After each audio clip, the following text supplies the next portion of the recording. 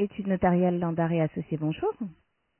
Euh, Allô Sylvie, Oui Ne quittez pas, Oui. s'il vous plaît. Sylvie, j'attends un coup de fil dans, euh, pour le dossier de Ferry, là. Vous me passez la personne dès qu'elle appelle, hein, ok Ah bah justement, je suis en ligne avec. Ah, ah bah, euh, attendez, passe- passez-moi le téléphone.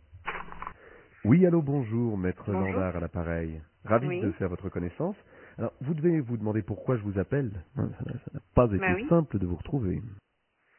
Oui, Connaissez-vous Madame Roselyne Estave de Ferry? Pas du tout.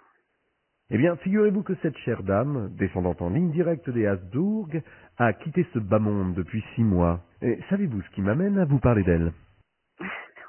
C'est une blague, non? Eh bien, tout simplement parce que vous figurez sur son testament. Ah oui, d'accord. Ravi de Alors, je vais vous épargner la lecture par téléphone du document parce qu'on y passerait la nuit, mais sachez que vous héritez de l'usufruit de votre code parentière indivisé, de la demeure familiale avec son haras, de bons du trésor, ainsi que de Écoutez, je bons porteurs devez de pas moins de je 14 pense, je pense sociétés que vous devez européennes. hein. faire erreur. hein. Mais, pense que vous devez euh, faire je suis erreur. surpris, vous, vous ne semblez Euh, pas très vous, demandez, vous demandez, vous demandez qui d'abord? Dites-moi le nom que, que vous demandez de la personne que vous demandez. Euh, vous ai-je fait part du codicile susmentionné par la donatrice? Non mais attendez, vous demandez qui? Dites-moi qui vous demandez. La personne que vous demandez, c'est qui Mais suivant ce codicile, la défunte stipule expressément que passé un délai de deux mois et un jour après son décès, si les parties héritières et utérines ne se